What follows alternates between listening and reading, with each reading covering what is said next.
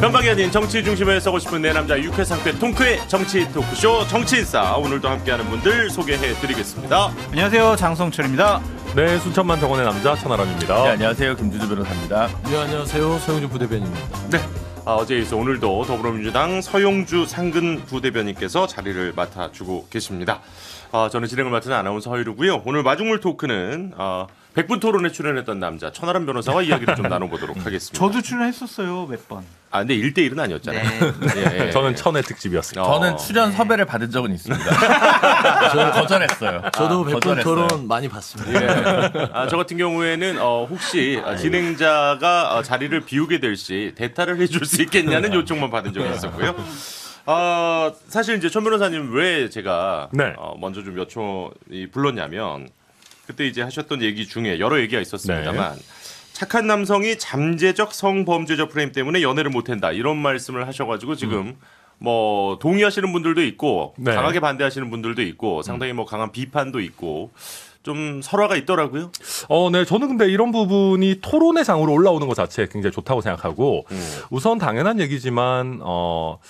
뭐랄까요? 그러니까 남성에 대한 과도한 잠재적 성범죄자 프레임을 반대한다라는 것이 여성에 대한 뭐 성범죄나 뭐 성폭행, 성희롱, 뭐 스토킹 이런 걸 옹호하자라는 것이 아닙니다. 제가 말씀드린 것이 잘못을 저지르는 범죄자들은 당연히 뭐 비판받고 비난받아야 되겠지만은 사회적 규범을 잘 순응하는 남성 남성들 꼭 남성에 한정하지 않더라도 어떤 잠재적 성범죄자 프레임 때문에 좀 위축되는 부분들이 분명히 있다. 그리고 그것이 지금 출산율 저하와 관련해 가지고 우리가 잘 봐야 되는 것이 결혼율과 연애율도 같이 지금 떨어지고 있는 상황이거든요. 그래서 예. 우리가 이런 어떤 과도한 정치적 올바름의 압박 이런 것들이 미치는 문화적 영향 같은 거 한번 살펴볼 필요가 있다. 그런 취지에서 드린 말씀입니다.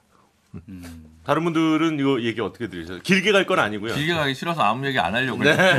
저는 원론적인 얘기를 좀 하고 싶은데 제가 천 변호사를 아끼는 입장에서 정치를 하시려면 이 성 문제와 음, 이 젠더 문제. 예, 종교와 관련된 문제는 좀 조심스럽게 얘기를 했으면 좋겠어요. 음.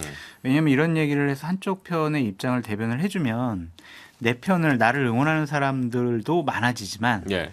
강하게 나를 반대하는 사람들이 있거든요. 나에게 음. 반감을 갖는 사람들. 음. 그럼 앞으로 정치하는 데 있어서 좀 족쇄로 작용할 수 있는 여지가 있어요. 음. 그래서 너무 자극적인 단어 쓰지 마시고 조금 좀 원만하게 하셨으면 좋겠다. 약간 이제 정의당 장혜원 의원도 그렇다 보니까 네. 이 구조적인 문제를 얘기하는 게 아니라 이거 약간 그 이준석 전 대표가 하는 갈라치기 뭐 혐오 정치 아니냐 뭐 이제 이런 식의 비판도 있더라고요. 그러니까 그런 것 저출생 문제와 관련해서 음. 이 문제를 연결시켰던 부분이 약간 천변의 어, 말의 어떤 설득력을 좀 떨어뜨린 것 같아요. 음. 그러니까 사회 경제적인 문제가 사실은 저출 그 저출생이나 결혼과 관계된 문제가 크지 이뭐 얘기 지적하는 뭐 동의하든 동의하지 않든 이제 프레임으로 천 변호사가 이제 설정한 잠재적 성범죄랑 크게 저는 관계 있다고 생각하지는 않거든요.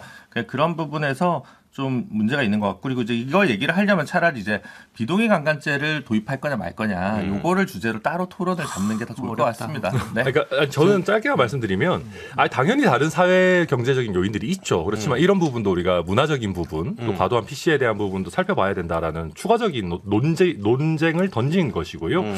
또한 가지는 이게 장혜영 의원이 그런 얘기 하셨어요. 뿌리 깊은 구조적 성차별에 대해서 얘기해야 된다. 예. 그런 얘기를 하셨는데 저는 그런 얘기도 하고 추가적으로 어떤 다른 사이드의 얘기들도 할 수 있어야 된다고 음. 생각합니다. 그러니까 어, 예를 들어서 한번 한번 생각해 보죠. 이제 저는 장영은 좀 편협하다고 생각한 게 제 이런 예를 한번 들어볼게요. 요즘 농촌 지역에서는 다문화 가정 출신의 우리 학생들이 더 많아지다 보니까 오히려 한국인 가정의 학생들이 왕따를 당한다 이런 얘기까지 나오고 있거든요. 음. 그러면 그럴 때 우리가 수- 한국인 학생들이 겪는 어떤 어려움과 차별을 얘기한다고 해가지고 그럼 우리가 다문화 가정이 겪는 구조적인 차별을 외면하는 거냐 그렇게 등치시킬 수는 없는 것이거든요. 그래서 여성이 겪는 어려움과 불편에 대해서 차별에 대해서 이야기하는 부분도 있는 것이고 또 남성이 겪는 뭐 어려움과 차별, 역차별에 대해서 이야기할 수 있는 부분도 있는 것이기 때문에 뭐 여성의 겪는 차별이 더 크기 때문에 남성이 겪는 어떤 어려움은 얘기하지 마라. 저는 이거는 좀 편협한 주장 아닌가 생각합니다. 저는 저는 이 노이즈 마케팅에 더 이상 속 숟가락을 얹지 않겠습니다. 저는 좀 아, 근데 언제 아니 남성이 겪는 역차별이 진짜 아예 없다고 아니, 아니, 생각하세요? 그러니까 지금 아, 있죠. 저는 아, 전환 그럼요. 위원장에 대해서 다 비판적이니까 제가 좀 편을 들어야 될 것 같아요. 저는 충분히 이해는 합니다. 네. 아까 말씀했듯이 잠재적 성범죄자 부분에 있어서 남성들은 또 그렇게 생각할 수 있어요. 더러 많은 사람들이요. 음. 근데 또 한쪽 측면에서는 여성들 저도 이런 얘기를 많이 하거든요. 네. 후배들하고도 여성들하고도 얘기를 하는데 여성들은 기본적으로 공포를 가지고 있습니다. 음. 그러니까 사회적 환경 자체가 아 언제든지 남성 불특정 남성들에 있어서 내가 어떤 신체적인 그런 부분들에 있어서의 불안감을 가지고 음, 있다라는 측면에서는 천안 위원장의 말이 여성들 입장에서는 굉장히 좀 거북할 수 있다. 음, 하지만 천하람 위원장이 말한 대로 이런 부분들을 하나의 이슈를 던져서 토론의 장으로 끌고 오는 것도 따지고 보면은 주장할 수 있는 바 아닌가. 그러니까 저는 그렇게 제 얘기, 생각해요. 저는 짧게 말씀드리면 저는 제 얘기가 보편 타당한 진리거나 뭐, 뭐 모두가 동의한다고 생각하지 않아요. 그러니까 예. 토론할 수 있는 지점이다라는 취지입니다. 알겠습니다. 아니, 뭐 사실 최근 이제 뭐 여러 조사들을 보면 가장 지금 갈등 중에 높은 비중을 차지하고 있는 것이 이 젊은 층일수록 이제 젠더 이슈로 맞아요. 나오고 있더라고요. 그리고 이제 나이를 먹을수록 뭐 이제 뭐 소득의 이제 불공정성이라든지 이런 부분들로 바뀌던데 좋습니다. 뭐 기회가 된다면 정치인사에서도 한번 이런 토론의 장을 만들어 봐도 좋을 것 같고 그리고 또 백분 토론에서는 연락 주시면 다시 한번 장혜영 의원과 차다란 변호사의 일대일 토론 한번 생각해 보셔도 좋을 것 같습니다. 예, 빨리 광고 듣고 와서 이제 오늘의 정치적 이야기 나누도록 하겠습니다.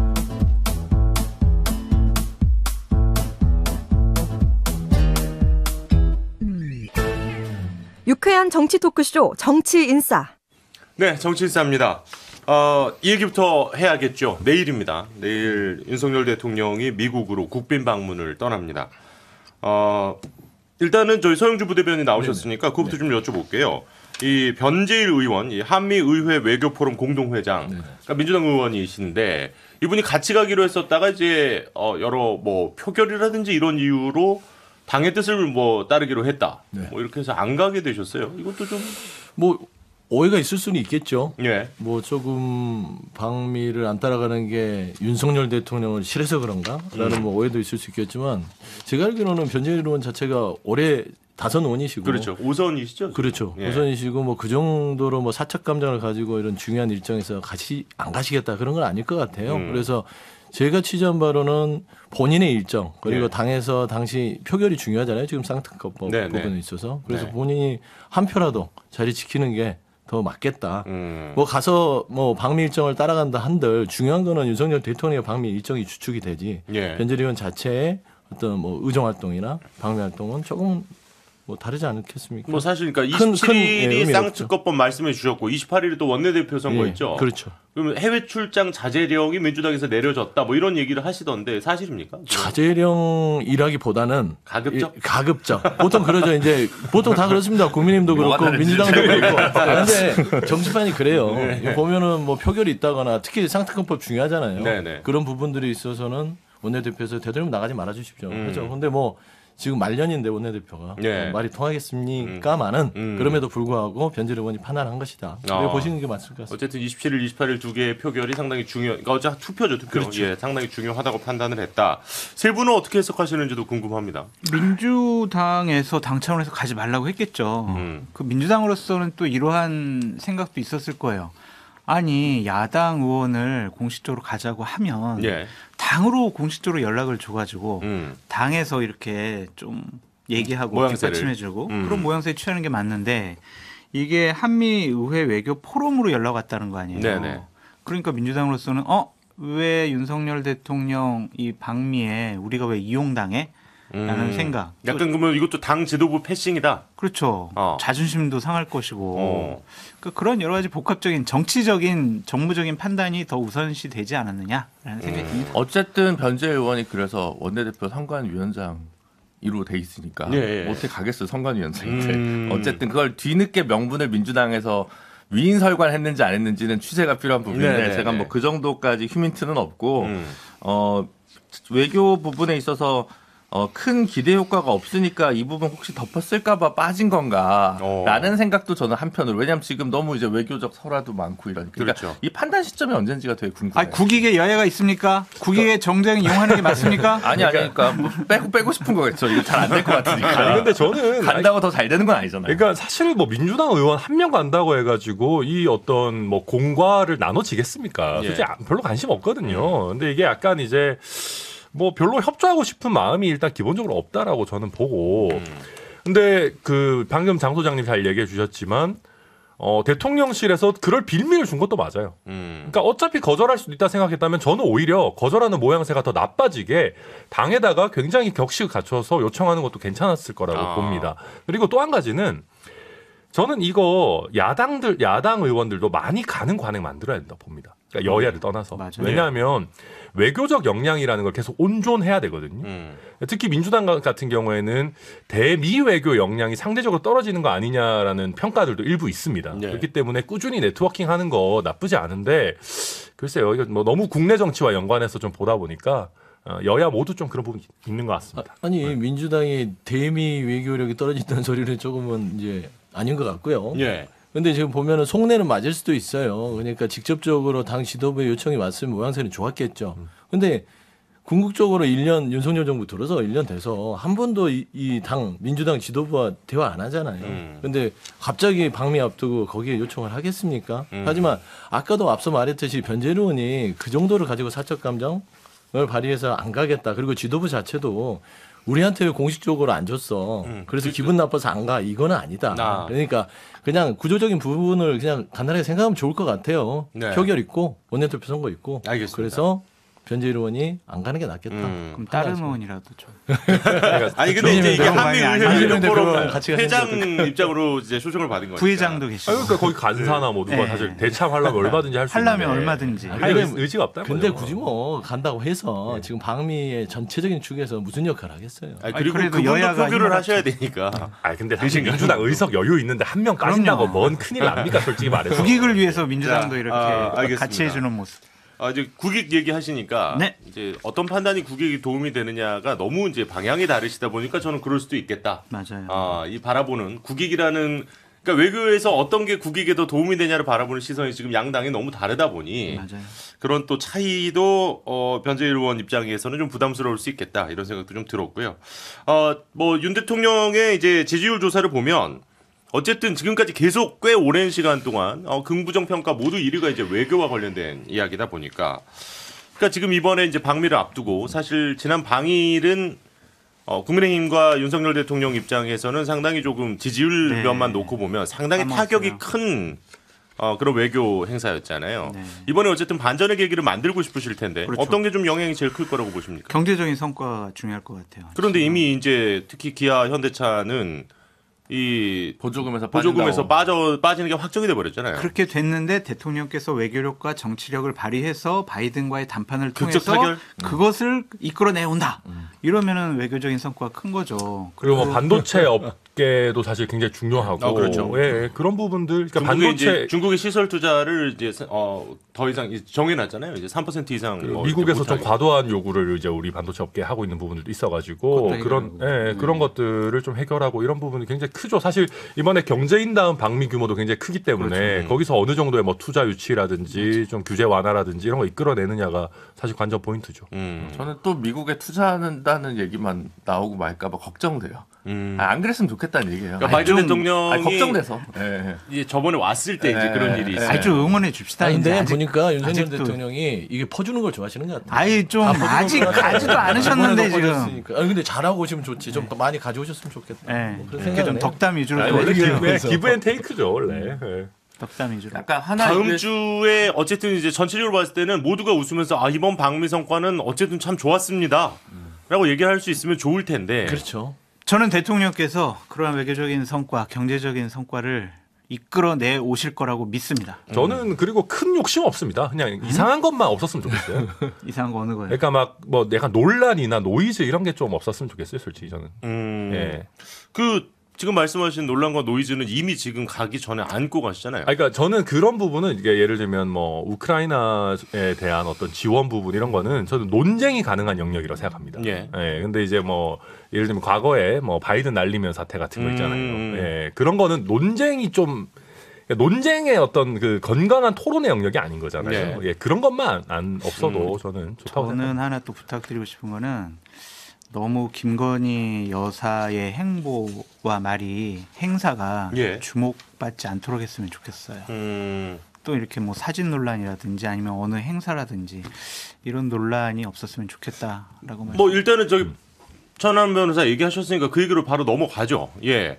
지금 일단 우크라이나 어, 이 러시아 전쟁과 관련해서 그러니까 지금 미국 측에서는 이제 우크라이나 무기 지원을 요청을 하면 이제 어떻게 해야 되냐가 가장 초미의 관심사인데 왜냐하면 이제 윤석열 대통령이 러시아가 민간인을 학살하면 우크라이나에 방어할 수 있는 무기를 주지 말아야 하느냐 줘야 되는 거 아니냐 이제 뭐 이런 얘기를 했습니다. 그리고 그것도 이제 외신이랑 한 거죠. 어, 로이터 로이터. 통신. 아, 그러니까 아니야, 이거는 지도부와 만나서 지도부와 이런 만나서. 멘트를 하셨고. 그 전에 그 전에 이제 로이터 로이터 통신과의 인터뷰에서 근데 왜 그 우리 언론하고는 인터뷰를 이렇게 안 하시면서 로이터랑 요미우리하고만 이렇게 있어 보여서? 그러신가?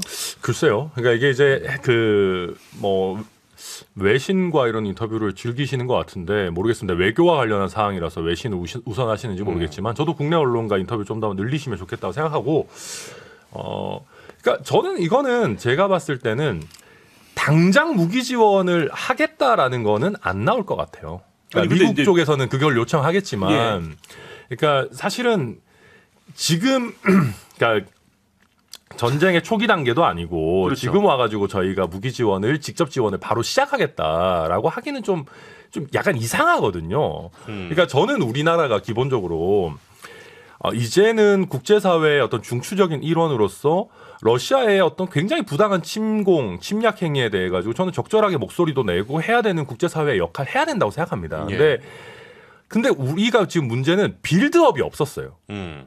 그러니까 만약에 그러니까 우리가 정말 전쟁 초창기부터 그런 거에 대해서 센 메시지 내고 뭐 일본의 기시다 총리처럼 우크라이나 방문도 하고 뭐 그랬었으면 모르겠는데 지금 이렇게 갑자기 하는 거는 좀 갑작스럽거든요. 그래서 좀 글쎄요, 저는 그렇게까지 획기적인 어떤 실질적인 정책의 변화는 없을 것이고 어떤 경고성 메시지들만 강하게 나오는 수준이 아니겠느냐, 저는 그렇게 예상합니다. 근데 그 외교란 자체가 말씀한 대로 어, 민간인 학살하고 그러면 마음이야. 당연히 도와주고 싶고 이거는 정말 나쁜 짓이니까 뭔가를 좀 바른 말을 하고 싶겠죠. 근데 외교라는 측면이 생각과 마음, 원칙 이거 다 내뱉으면 어떻게 외교합니까? 그런 거 아닐까요? 근데 저는 참 답답한 게 이상한 게 윤석열 대통령이요.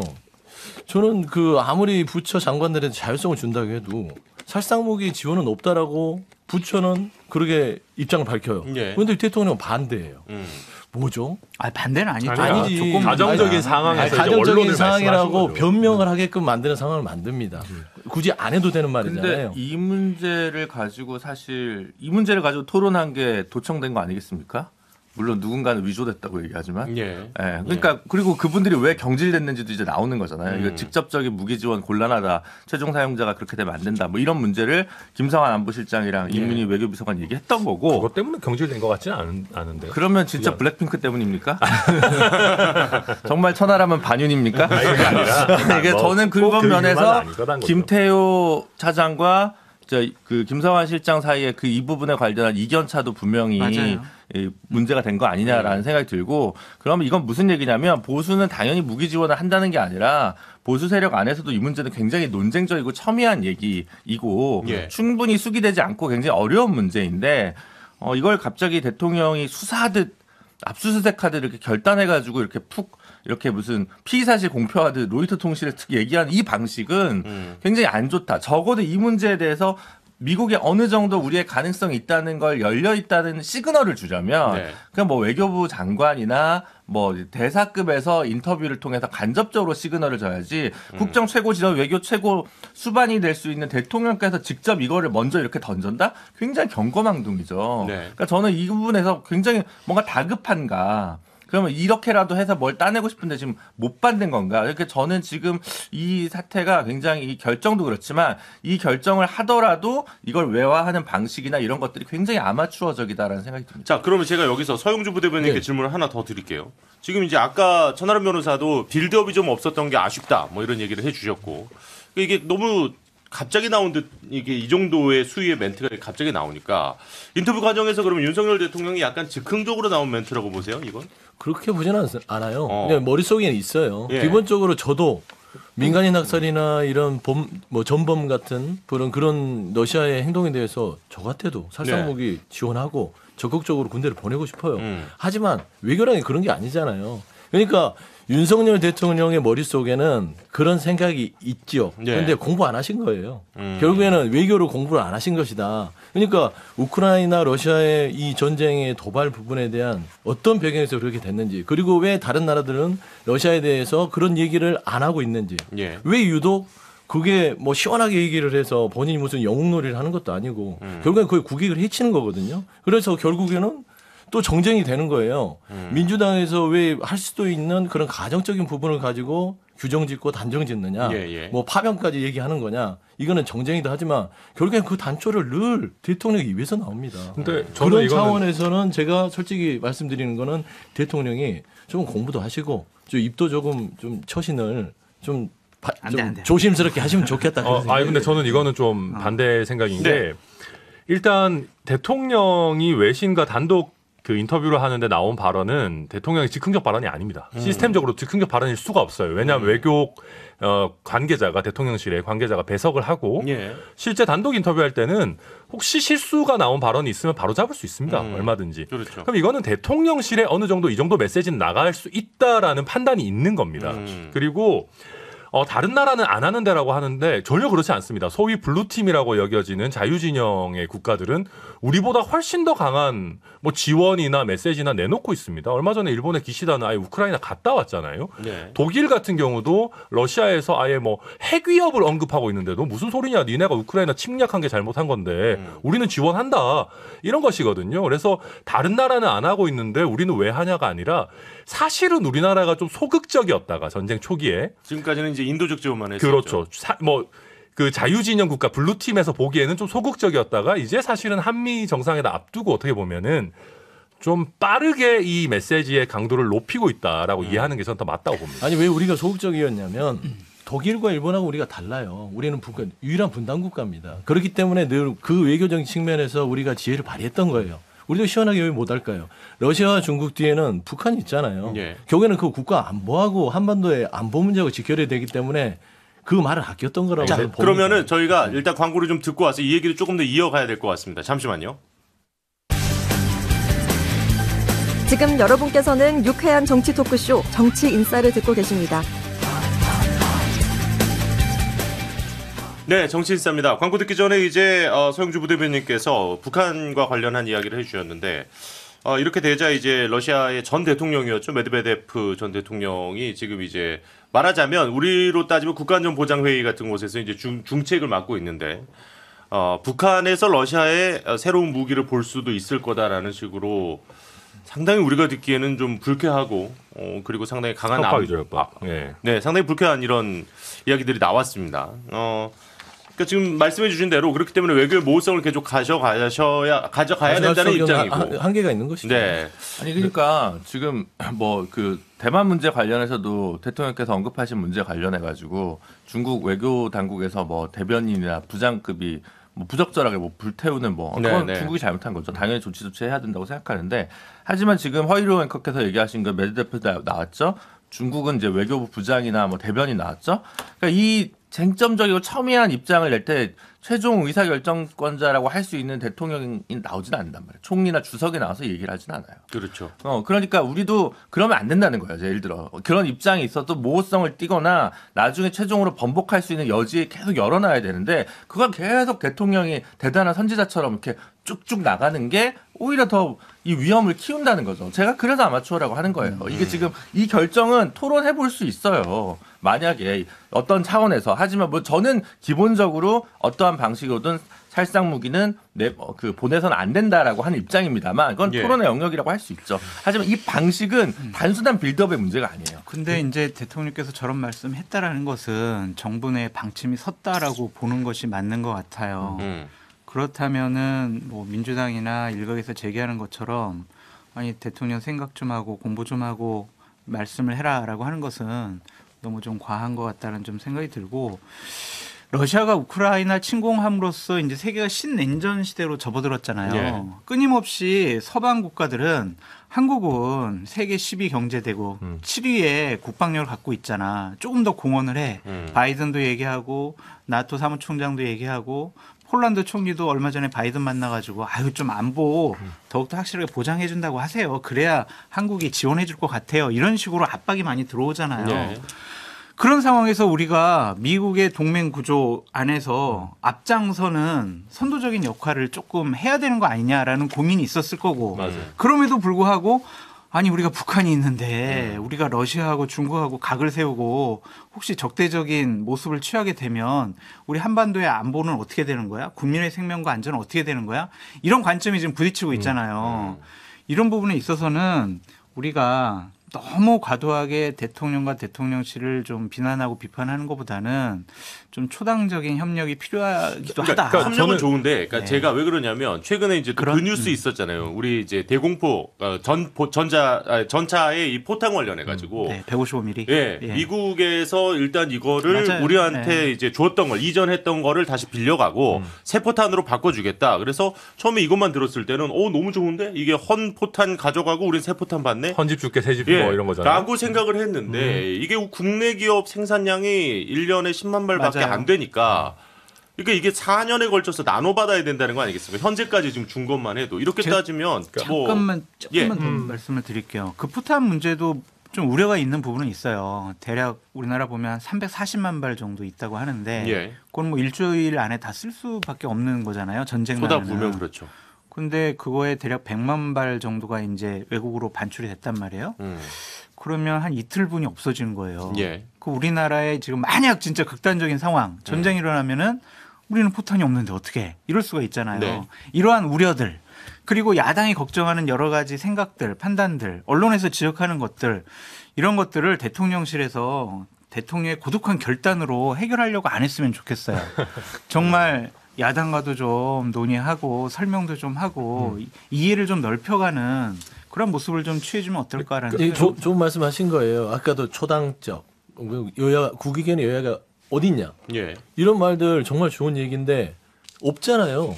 그러니까 이- 이 문제 어, 윤석열 대통령 들어오고 나서 야당 안 만났잖아요. 음. 그러니까 이런 얘기를 할 수가 없죠. 손뼉이 마주쳐서 뭐, 뭐 소리라도 나는데 그러니까 자꾸 야당은 야당대로의 입장에서는 비판할 수밖에 없고 그러면은 윤석열 대통령께서 처음에 와서 정말 협치를 중요시 여기고 의회주의를 말씀한 대로 실천을 했다면 그게 뭐 솔직히 지금처럼 비판과 어떤 서로 간에 밥 먹고 갈등이 있겠습니까? 서용주 부대변인 말씀이 100% 옳다고 생각하는데 내로남불의 문제에 민주당은 공격당할 수밖에 없어요. 왜냐하면 2021년도 5월달에 문재인 대통령이 바이든과 회담을 하- 했을 때 네. 당시에 대만 해운 문제와 관련해서 지금 대통령이 얘기하시는 비슷한 수준으로 얘기를 하셨고 대만 해협에서의 평화와 안정 유지를 그 유지 유지를 중요성을 강조했다 이런 얘기를 당연한 했거든요. 얘기예요, 사실은. 근데 네. 당시 중국은 대만 문제에 어떠한 간섭도 용납하지 않는다. 불장난하지 말라. 이렇게 얘기를 했어요. 이때 당시에 국민의힘이 아니 지금 대만 문제를 왜 개입해 가지고 나라의 안보를 위협스럽게 만들고 이런 얘기 안 했단 말이에요. 이 문제에 대해서는 외교적인 문제고 국익과 관련된 문제니까 초당적으로 협력을 했어요. 그런데 지금 민주당은 회담 가기도 전부터 지금 계속해서 굴종 외교냐 뭐 지금 나라의 안보를 위협하게 빠뜨리게 한다 이런 식의 비판은 좀 과한 것이 아니냐. 갈 수도 있는데 보시면 들어요. 상황을 더 보셔야 돼요. 그러니까 그 사안만 보면은 그런 주장을 비판하실 수 있는데 이 문제가 왜 그러냐면 방미를 앞두고 음. 대통령실이 도청을 도청 문제가 나왔죠. 미국에서 도청 네. 부분이 있는데 그게 말끔히 해결되지 않았습니다. 네. 미국 자체도 부인하지 않고 이- 있는 상황에서 네. 또 방미를 앞두고 러시아를 자극하고 중국을 자극할 이유가 있냐라는 게 전체적인 그 상황인 거예요. 음. 그러다 보니까 민주당에서는 또 외교 참사가 일어나지 않겠냐. 왜 이렇게 미국에 가서 선물을 안겨주려고 그런 의도, 의도된 발언을 한 게 아니냐. 음. 라는 의심할 수 있는 그러니까 것이고 그런 지적들을 솔직히 야당에서는 근데 너무 않을까요? 점잖지가 않아요. 너무 감정적이고 맞아요. 자극적인 단어를 동원해서 폄하하려는 것 같아요.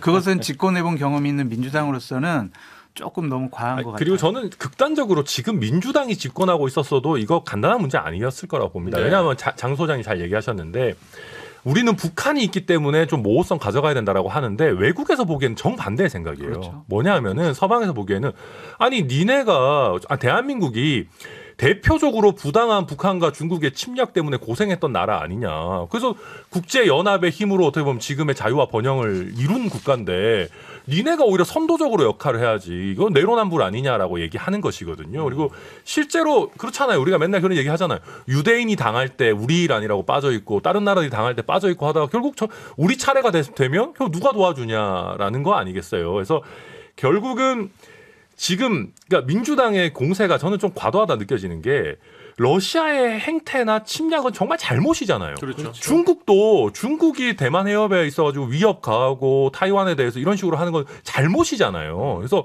우리의 스탠스가 사실 정의롭고 옳은 건데 거기에 대해 가지고 우리가 언제까지 어떻게 보면은 약간 중추 국가가 아닌 옛날 마인드로 우리는 그냥 어찌 됐든 모호하게 가야 돼. 저는 지금의 대한민국의 위상이랑 안 맞는 것 같아요. 조금 상당히 좀 이거는 되게 섬세하게 다뤄져야 될 문제라고 생각을 하는데 예를 들면 이- 지금 이제 천하람 변호사님 얘기하신 거에 원론적인 거에 다 동의하더라도 그럼에도 불구하고 필요한 어떤 외관이 있기 때문에 김성한 안보실장이나 이런 분들은 폴란드를 통한 우회적 네. 수출이란 방식을 채택하려고 했던 거 아니겠습니까? 음.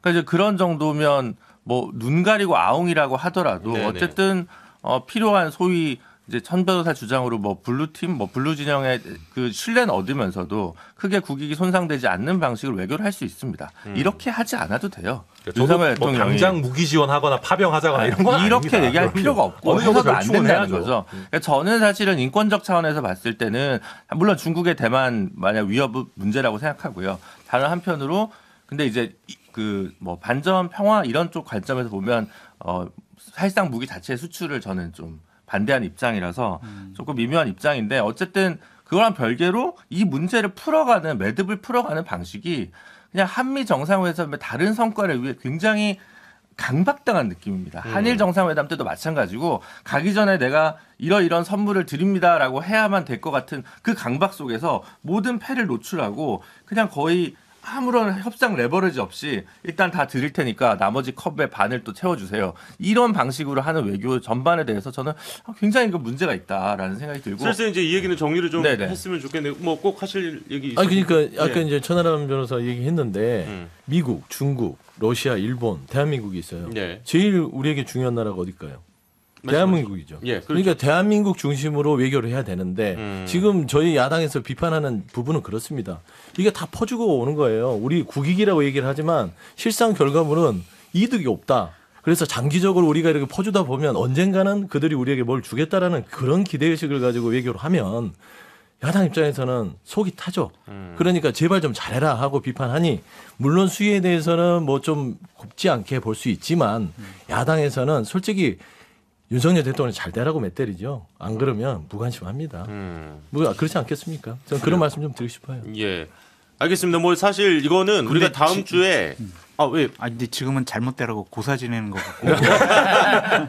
그러니까 이랬으면 좋겠어요. 그러니까 중국이 우리나라 대통령을 향해서 예를 들면은 불에 타 죽을 거라든지 말창견하지 말라든지 이러한 얘기를 하면은 그래도 이 부분만큼은 좀 우리나라 국격과 관련된 문제니까 대통령의 입장을 좀 오히려 좀 도와주는 모습 보이는 것이 좋지 않을까. 그러면 민주당 지지율 뭐- 올라갈까요? 노선과 네. 관련 문제, 정책 관련된 문제는 충분히 논의하고 토론할 수는 있지만 이런 문제와 관련해서 자꾸 우리나라 대통령을 공격하는 수단으로 오히려 이용하는 것은 그렇죠. 민주당에서 이런 논평 만- 아주 짧게 얘기해서 까도 우리가 깐다. 음. 니네는 가만히 있어라는 논평 냈으면은 저는 되게 호평 받았을 거라고 봐요. 중국은 높은 산봉우리라서 민주당 생각하시니까 자, 못하는 것 같은데. 네. 알겠습니다. 뭐 어차피 이제 미국을 다녀오시면 우리가 이제 방미 성과를 두고 또 한참을 얘기해야 됩니다. 제발 좀 성과를 가져오세요. 한참을 얘기할 수 있으면 좋겠는데 네, 장 소장님이 어쨌든 웃으면서 얘기하 거 보세요. 예, 제가 말씀드렸잖아요. 이럴 수 있을지 네. 한번 지켜보도록 하고요. 네. 어, 이제 야당 비판이 지금 아주 강하게 나오고 있습니다만은 이제 의외로 어, 중도층이 과연 이제 한미 동맹을 더 중요시하는 것인지 여론조사 결과만 놓고 보면 또 요즘 이제 묘합니다. 한국갤럽이 지난 18일부터 20일까지 조사했던 내용인데요. 자세한 내용은 중앙선거 여론조사 심의위원회 홈페이지 참고하시면 되고요. 윤석열 대통령의 지지율이 다시 일주일 만에 30%대로 회복했습니다. 4포인트 포인트가 올랐었는데요. 또 이제 어, 여당과 야당의 지지율도 다시 완전히 붙었어요. 아무래도 민주당 입장에서는 어제 이야기를 나눴습니다만은 이 돈봉투 의혹이 또 중도 민심에는 좀 타격이 컸다고 볼 수도 있겠네요. 그렇죠. 예. 뭐 이게 뭐 국민 눈높이에 맞지 않는 거잖아요. 어떻게 뭐 당내 경선이긴 하지만 캠프에서 돈 봉투가 돌려 돌리 돌려졌다. 음. 그게 이제 선거에 영향을 미치려고 했다라는 네. 부분들은 좀 부도덕해 보이니까 음. 뭐 국민들 입장에서는 좀 아니다라고 평가하신 거는 분명히 인정해야 될 것 같고요. 예. 그런 반사익 플러스 그다음에 이제 외교에 대한 음. 기대감 이런 부분들이 또 윤석열 대통령에 대한 지지율이 조금 반등하는 음. 요인으로 작용한 거는 같은데 예. 저는 그렇습니다. 이제 어, 고쳐야 될 부분들은 지금 고치면서 나가야 돼요. 도봉투 사건을 통해서 네. 저는 이 기- 이거를 뭐 계기로 삼아서 정말 정치권 자체가 좀 국민 눈높이에 맞게끔 조금씩 조금씩 성장이 된다고 보는데 조금 좀 석연치 않은 것들이 있어요. 음. 왜 그러냐면 왜 이 지금인가? 음. 그러니까 돈봉투 사건이 왜 지금 터졌는가? 네네네. 라는 것들이 뭐 미 도청 사건도 이 사건을 이 도봉 사건으로 묻혀버리고 그다음에 전반적으로 지지율 부분들도 반등하는 요인들을 마련했기 때문에 또 합리적 의심할 수밖에 없다라는 측면에서는 조금 개운치 않습니다. 알겠습니다. 예, 뭐 일단은 어 여당 입장에서는 정말 20%대로 가면서 상당히 지난주에 우리가 이제 여론조사 얘기했을 때 위기감을 느꼈는데 일단은 이제 방미 성과에 대한 기대감이라고도 좀 볼 수 있을까요? 그렇게 봐야 되는데 네. 올린 올라가는 데를 보니까 대구 경북에서 올라갔고 음. 70대 이상에서 올라갔고 아 역시 디테일하게 보세요. 약간 때. 위기감에 의한 기술적 네. 반등 요소가 커요. 결집? 네, 맞아요. 결집이 음. 있었던 근데. 서울이 다시 이제 뭐 뒤집어졌어요. 음. 네. 서울이 지난주에 한 번. 민주당이 오- 어, 역전했다가 그랬죠. 서울이 다시 국민의힘이 없, 없어졌고 네. 그다음에 50대에서도 일단 어쨌든 비율상으로 좀 많이 민주당이 빠졌더라고요. 음. 그러니까 여전히 50대에서 민주당이 좀 앞서긴 하는데 비율적으로 민주당이 좀 빠지고 역시 이제 그런 지점들이 서울에 있는 중도층 민심에는 어, 민주당이 어제 우리가 이 얘기 나눴던 뭐 그런 내용들이 큰 타격이었다 이렇게 네. 볼수 있을 것 같고요. 좋습니다. 예. 어, 그렇다 보니까 지금 이제 여야 상황에서 총선이 1년도 넘지 않은 상황, 제3지대 얘기가 요즘 나오고 있습니다. 어, 네분 일단 짧게 지금 제3지대 얘기 나오기에 좀 적깁니까? 창당하기에? 적기죠. 적기다. 오케이. 네. 일단 요거 짧게 일단 yes 네. or no로만 한번 듣고 제가 다시 돌릴게요. 적기 맞죠. 적기다. 모르겠는데. 모르겠다. 네. 근데 장이 섰으니까 적기죠. 장이 썼으니까 적기다. 지금 정의당의 입장을 너무 대변하려는 거 아니 아니에요? 아니 아니요. 그건 저는 아, 상관없어요. 요새 정의당도 약간 쪼개지려고 하는 것 같던데요. 아, 네. 그- 뭐 그거는 뭐 잘 모르겠고 예. 그 저기 이 제3당이 이제 성공하려면 두 가지 조건이 필요 아 세 가지 조건이 필요하잖아요. 그러니까 뭐 지역적 기반이 있거나 대선 주자가 있거나 예. 그 다음에 아니면 선거제도가 좀 다당제 음. 우호적이거나 근데 아직은 이게 다 없어요. 지금 음. 있는 거는 이 모든 것의 토대가 될 수 있는 무당층이 굉장히 크다. 예. 요거 하나입니다. 그렇죠. 그렇기 때문에 이제 그리고 양당이 서로 폭망 경쟁, 음. 약간 뭐 옛날 엘로끼나 뭐 하나 이글스의 어떤 프로 만각의 경쟁 굉장히 지금 같은 위험한 얘기 들으시네. 아, 위험한 얘기 하는 건 뭐, 저, 뭐, 뭐 어때요? 아, 저보고는 위험한 얘기 하지 말라더니. 아, 그거는 저는 안 팩트를 얘기하는 거니까. 저는 뭐 선출직은 아니니까. 그래서 이게 그런 정도의 토대인 거고, 그래서 많은 조건들이 좀 필요합니다. 그게 성공으로 가기 위해서는. 예. 근데 지금 금태섭이라는 인물로는 조금 약한 부분이 있고, 음. 지역적 토대도 불명확하고, 아, 이종인 어. 전 비대위원장은 대통령도 할 수 있다 뭐 이런 얘기 하시던데요. 대통령은 뭐 많은 분들이 할 수 있는 자리니까요. 예. 근데 이제 하나 재밌는 거는 이게 적기도 적기고 알박던 사람이 없어졌잖아요. 음. 이제 원래 안철수 의원이 중도 포지션을 알받고 계시다가 사실 국민의힘 왔기 때문에 예. 어 제가 사실은 이제 지난 금요일 날 금태섭 의원이랑 뭐 대담 이런 거를 했는데 아직 아, 그래요. 그게 나왔는지는 모르겠습니다. 네네. 공개가 된지 모르겠는데 금태섭 의원도 본인이 깃발을 뭐 드는 금태섭 당 만들 생각 없다라고 하더라고요. 뭐 어느 정도 뭐 그거 아, 그러면 알고 계신 신당 것 창당과. 관련해서 본인이 이제 구심점이 되겠다는 생각이 없으시다고. 그러니까 본인은 이제 그런 준비 작업을 하는 건데 자기가 뭐 예를 들면 뭐 막 완전 얼굴 이런 걸 할 생각은 없다. 불쏘시개 정도예요? 그럼? 뭐 그렇게 얘기하면 너무 좀 그 사람한테. 신뢰인가? 아무튼 근데 뭐 아무튼간에 그렇다는 것이고 그래서 근데 말씀하신 것처럼 이게 아직까지 정체성이라는 게 뭐예요? 네. 예, 그러니까 뭐, 이게 뭐 하는 당인지 잘 모르겠잖아요. 그냥 쉽게 얘기하면 그냥 제정신 박힌 그냥 좀 더 양당보다 합리적인 얘기하는 당 이 정도로 가서 너무 약하거든요. 음. 그래서 그게 결국은 저는 가치 체계를 어느 정도 정립하는 게 저는 가장 중요한 숙제다 음. 봅니다. 근데 그러니까- 합리적이고 네. 상식적인 사람들이 모여 있다라는 이미지랑 인상만 주더라도 국민의 선택과 대안이 될 수 있다라고 좀 보여지고요. 중도층이 워낙 높기 때문인가요? 그렇죠. 무당층이 높아요. 음. 지금 보면 제일 제일 지지가 많은 게 무당층인 것 같아요. 지금. 네, 없음당이 뭐, 1등이죠. 뭐. 지지정당 네. 없음당이 1등. 그리고 저는 이게 제3정당 모임이 하나만 나오지 않을 것 같아요. 그러니까 음. 아까 우리 천 변호사님이 정의당도 분열될 거라고 얘기를 하셨는데 그런 움직임이 보여요. 네. 그래서 제3정당 3-1, 음. 제3정당 3-2 이런 것들이 많이 생길 것 같아요. 그래서 나중에 되면 음. 그분들이 하나로 모여가지고 예. 또한 내년 총선을 대비하지 않을까라는 생각도 듭니다. 그럼 일단은 민주당 분화 얘기도 좀 민주당은 분화되지 않을 것 같아요. 그래요? 예, 어. 왜냐하면은 여기서 만약 합리적이고 상식적인 얘기를 하면 윤석열 정권 도와주는 거 아니야? 내부적으로 이런 음. 얘기를 받을 가능성이 높기 때문에 음. 민주당은 그건 사법- 정의당이 많이 듣는 얘기입니다. 오해예요, 오해. 정의당이 가장 많이 듣는. 정의당은 또 민주당 편도 많이 들어주시니까. 안 들어요. 안 들은 지몇 년 됐어요. 아니 지금 김건희 여사 특검에 대해서는 정의 지금 민주당 편 들어준다고 이제 하잖아요. 서로 서로 하나 주고받은 거잖아요. 음. 그래서 민주당은 오히려 더 결속력이 강해질 수가 있을 것 같고 분화되지는 않을 것 같아요. 민주당 얘기가 나왔으니까 또 네네. 얘기해야죠. 근데 뭐 장성철 소장님 말씀이 맞을 수도 있는데 왜냐하면 민주당 자체가 한번 된 적이 있어요 분화해서. 그렇죠. 그렇죠. 네. 그런 경험이 있어서 호남이 움직여야 되잖아요. 그렇죠. 기본적으로 거기에 대한 두려움들을 의원들이 갖고 있습니다. 음. 하면 안 된다. 음. 또그 그런 사태가 되면 네, 은 네. 이것도 힘들어진다. 그 다음에 이제 정권 부분에 총선도 그렇지만 정권 재치 창출 부분들은 단일대로 가야 된다는 게 있지만 음.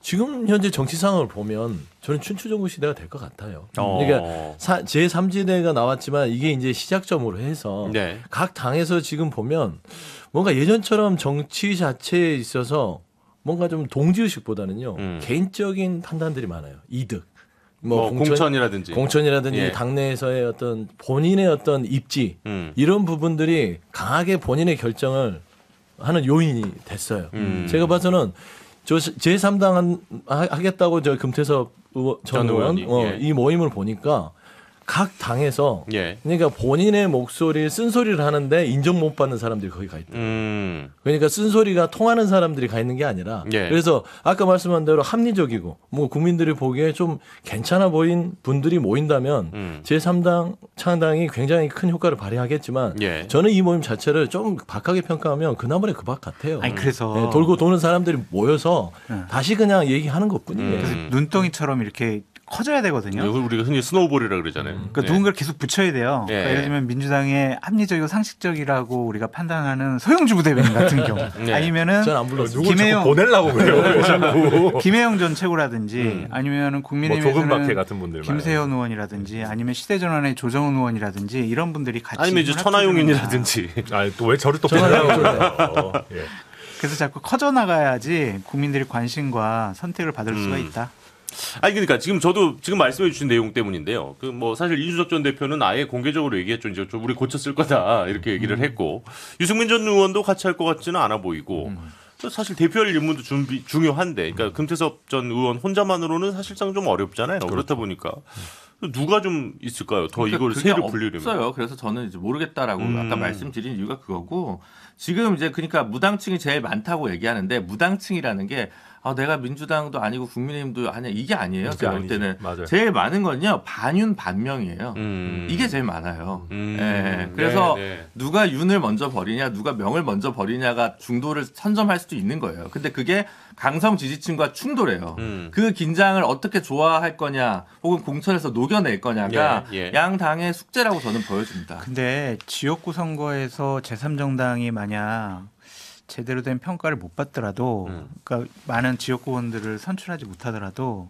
비례대표에서는 의미 있는 의석수 예를 들면 원내 교섭단체를 구성할 수 있는 20석 정도 예. 아 그래 아유 그래 지역구는 우리가 어쩔 수 없이 국민의힘 아니면 민주당 후보 뽑자 그러더라도 그래 제3정당이 합리적인 사람들이 국회에 있으면 좋겠어 비례대표는 뽑을 수는 있겠죠 국민들이 비례가 다 합쳐서 47석인데 한 20석 정도 연동형 비례를 하지 않는 한 네. 100% 연동형 비례를 하지 않는 한 그렇게는 좀 어렵지 않겠습니까? 그래서 이렇게 되면 또 거죠. 우리가 준 연동형을 통한 또 이거 우리 4년 전에 했던 이야기를 또 그거예요. 해야 돼서. 계산 또 해야 돼서 근데 저는 제3 정당 출연 부분이 조금 긍정적으로 되려면 음. 그각 아까 말씀하셨듯이 뭐 반명, 네. 뭐 반윤 이런 분들의 피신처가 되면 안 돼요. 음. 그러니까 어떤 정말 정치적 소신을 가지고 대안이 다- 그렇죠. 된다. 음. 다당제 이 양당제의 폐해를 깰 수 있는 다당제의 하나의 정말 기치를 들고 있는 뭐 정당으로 출연돼야지. 네. 말하자면 저쪽 당에서 버림받은 사람, 음. 이쪽 당에서 버림받은 사람이 총선을 앞두고 여기 와서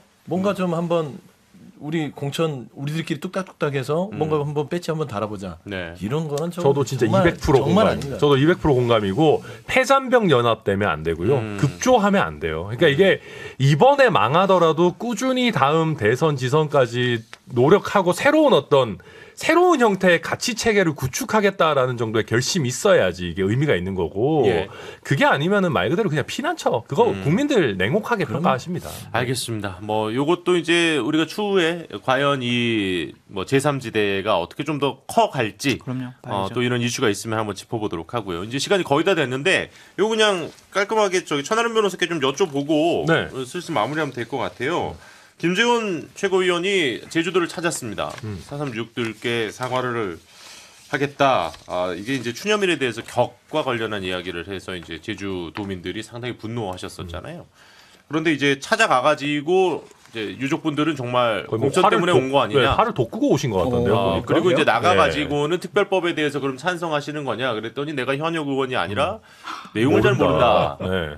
이제 이런 얘기를 하셨어요. 그렇게 되면서 그 뭐하러 온 거냐 이제 이런 비판들이 아주 쏟아지고 있는데 이거는 뭐 솔직히 징계 당할까봐 온 거잖아요.